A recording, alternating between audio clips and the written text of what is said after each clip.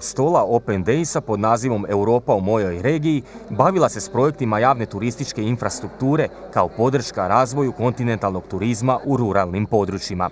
Glavna tema manifestacije Open Daysa dijeli se u dva dijela, na prvi dio koji se održava u Briselu, te onaj koji se održava u regijama partnera, pa ujedno tim povodom i Regionalna razvojna agencija Slavonije i Baranje u suradnji sa Osječko-baranjskom županijom, gradom Osijekom i predstavništvom Slavonije i Baranje u Briselu organizira u Osječkom arheološkom arheološkom muzeju okrugli stol na spomenutu temu. Možda je to isto dokaz da nam je više javnih turističkih institucija tipa muzeja.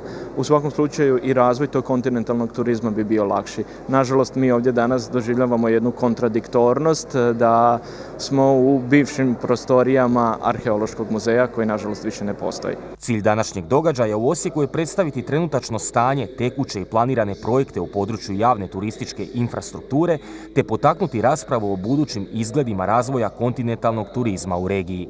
Događaj imao za cilj ukazati na poslovni potencijal kroz uspostavu prekogranične poslovne suradnje te ponuditi pristupe financiranja razvojnih projekata u području turizma.